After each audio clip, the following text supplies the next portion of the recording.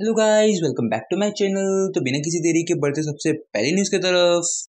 तो सबसे पहली न्यूज़ आ रही है गॉडलाइक ई स्पोर्ट्स और रेवेनेंट ई स्पोर्ट्स को लेकर, जहाँ रेवेनेंट ई स्पोर्ट्स ने कल अपने वेलोरेंट रोस्टर के साथ कुछ कुछ टॉकिंग करी है। वो अपने स्क्रीन पर देख सकते हो सरदार जी का रिएक्शन उसके ऊपर क्या था, वो भी आप लोग सुन सकते हो।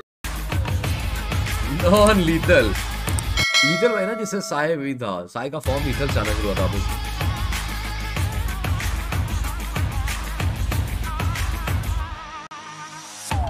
to me. R.I.P. Godlike. Angry mom coming for your pitchforks ready. Dead to me with no Hail Marys.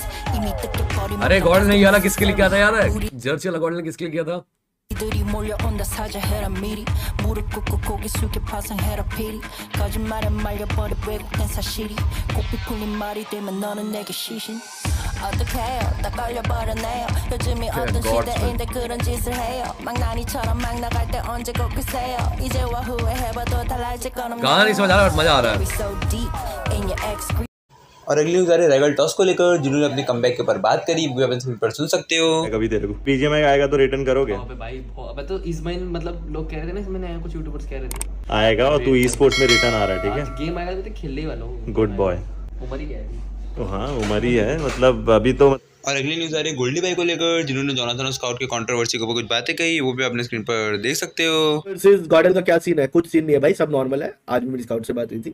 Everything is fine उसको मैंने आज समझा दिया इज़ रिलैक्स ठीक है। मेरी क्रॉन्टन से बात हो गई थी परसों ऑल गुड ठीक है। चलता रहता है होता रहता है ये तो पार्ट है पर्सन है। थोड़ा सा हाईलाइट वाईलाइट वालों का भी ध्यान रखना पड़ता है ना भाइयों भाई लोग बेचारे खाली बैठे थे इतने दिन से दो महीने से। ये बड़ी अच्छी बात कही आप। क्रॉन्टन और स्काउट दोनों एकदम दिलदार लोग हैं दोनों। दोनों को अच्छा नहीं लगता बेचारे। बीच बीच में ऐसा कर लेते हैं मेरे ख्याल से। हाँ हाँ, कुछ नहीं है भाई। देखो अभी गेम वेम आई नहीं है। बेकार में कंट्रोवर्सी करो मत। मैं तो चाहता हूँ गेम के बाद भी ना हो।